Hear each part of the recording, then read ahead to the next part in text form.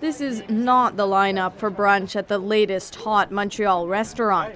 These people are patiently waiting for their chance to take home religious memorabilia.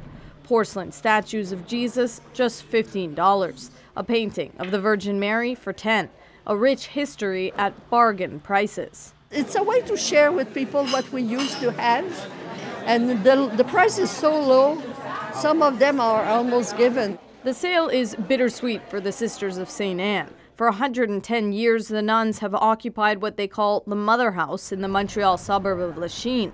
But once a sisterhood with almost 4,000 members, now only 180 nuns remain.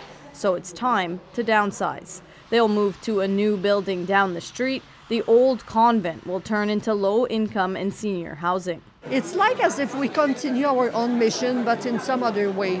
We used to work for the poor and in education and in healthcare. So now that we cannot work anymore, we, we want to left something behind us.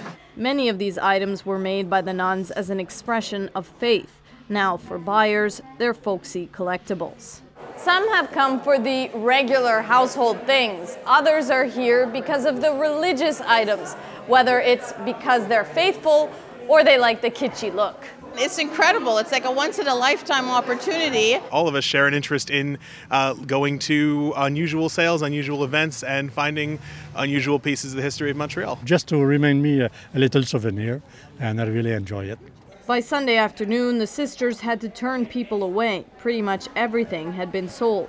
They managed to raise more than $20,000 to help them with their move. The nuns here hope the memories of their work will live on in other homes. Sarah Levitt, CBC News, Montreal.